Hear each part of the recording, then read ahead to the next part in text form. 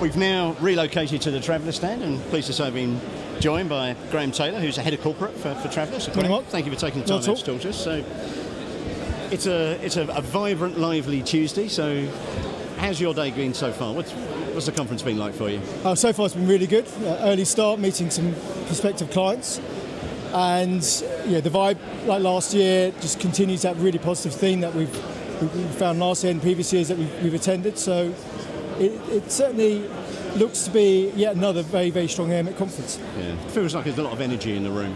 you know. Yeah, there is, and there's some interesting subjects that are being raised you know, by our clients, whether they're existing clients or prospective clients, and it's just, this gives us such a great opportunity to hear what those demands and needs are, and what the future ambitions are, and how we can deliver a creative-based solution to, to meet them. Yeah, yeah. Well, picking on that point then, what, what are the couple of three things that you're focusing on here this year? So our two key themes for this year, one is virtual reality and how we're using that technology more and more as part of our risk management proposition.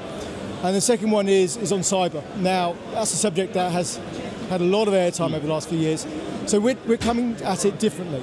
We're applying a lot of creativity and energy to a workshop we're doing this afternoon where we actually take risk managers through a scenario where they, they have to actually respond to the events as it unfolds and they'll be guided by experts both within the insurance and also outside the insurance industry.